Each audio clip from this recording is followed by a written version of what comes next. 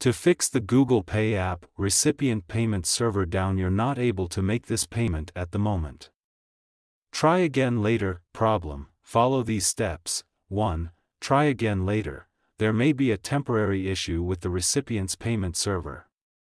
Try making the payment again later, 2. Make sure the recipient's Google Pay app is up to date, the recipient may be using an outdated version of the Google Pay app, which could be causing the payment to fail.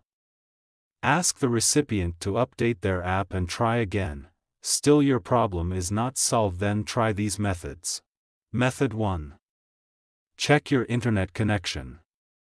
Make sure that you have a strong and stable internet connection. You can do this by trying to access other websites or apps on your device.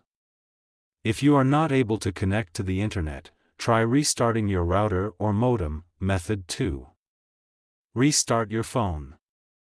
This can often fix minor software glitches that may be causing the problem. Method 3. Update the GPay app. To do this go to Play Store.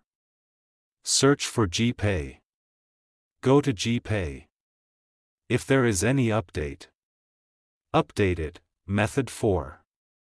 Clear the GPay app cache and data. If restarting the app doesn't work, you can try clearing the app cache and data.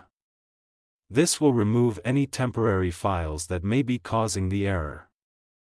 To clear the app cache and data, long press on GPay. Then click on App Info. Then click on Force Stop. Then go to Storage Cache. Then click on Clear Cache. Then click on Clear Storage, Method 5. Reinstall the GPay app.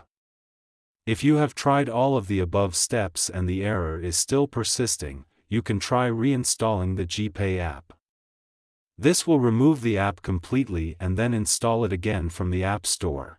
If you are still having trouble with the GPay app, you can try contacting the GPay support team for help. After doing all these your problem is still not solved then you need to contact your bank to fix this issue. Thanks for watching. Please like the video. Subscribe to Techsore.